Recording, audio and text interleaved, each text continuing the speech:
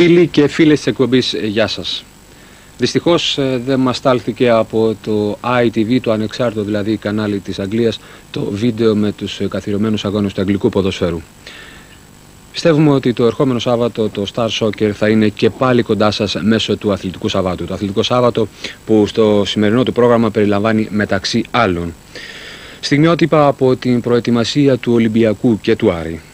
Μια συνέντευξη ενδιαφέρουσα οπωσδήποτε με τον πρωταθλητή της ε, πάλι σε Γιώργο Ποζίδη, μετά μάλιστα και τη μεγάλη του επιτυχία στο Γκέτεμπορκ. Στιγμιότυπα από τους αγώνες κολυμβήσεως ε, των παραγωγικών σχολών των ενόπλων δυνάμεων. Ένα ρεπορτάζ γύρω από την Θίελα Ραφίνας.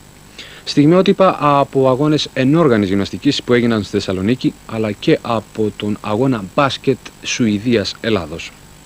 Θα ακολουθήσουν μια συνέντευξη με τον βετεράνο άσο του ΠΑΟΚ Λέανδρο στα πλαίσια των αφιερωμάτων μας ένας άσος θυμάται και θα κλείσουμε με την καθιερωμένη ανάλυση των κανονισμών διαιτησίας ποδοσφαίρου από ένα μέλος του ΣΕΔΕΠ.